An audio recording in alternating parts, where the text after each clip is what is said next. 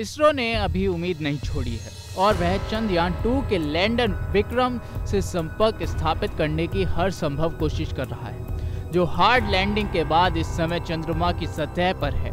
विक्रम का शनिवार को सॉफ्ट लैंडिंग के प्रयास के अंतिम क्षणों में उस समय इसरो के कंट्रोल रूम से संपर्क टूट गया था, जब वह चाँद की सतह से 2.1 किलोमीटर की ऊंचाई पर था। लैंडर के भीतर प्रज्ञान नाम का रोवर भी है मिशन से जुड़े इसरो के एक अधिकारी ने सोमवार को कहा, ऑर्बिटर के कैमरे से भेजी गई तस्वीरों के मुताबिक तय जगह के बेहद नज़दीक एक हार्ड लैंडिंग थी। लैंडर वहाँ साबुत है, उसके टुकड़े नहीं हुए हैं।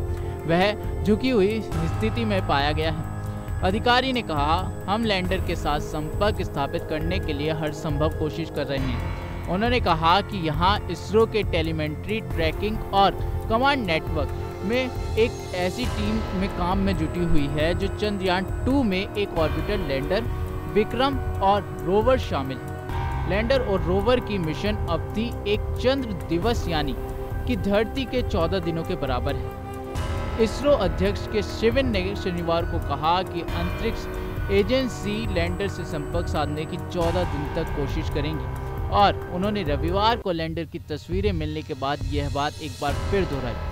अंतरिक्ष एजेंसी ने एक अधिकारी ने बताया, जब तक सब कुछ ठीक नहीं होगा, यह दोबारा स्थापित करना बहुत मुश्किल है। संभावनाएँ कम हैं। अगर सॉफ्ट लैंडिंग हुई हो और सभी प्रणालियाँ काम कर रही हों तो तभी संपर्क स्थापित किया जा सकता है। फ़िलहाल उम्मीद कम है। इसरो के एक अधिकारी ने बताया कि लैंडर के फिर सक्रिय होने की संभावनाओं से इनकार नहीं किया जा सकता। उन्होंने कहा, लेकिन कुछ सीमाएँ हैं। हमें भू स्थिर कक्षा में अंतरिक्ष यान की बहाली का अनुभव है, लेकिन यहाँ बहुत अधिक गुंजाइश नहीं है।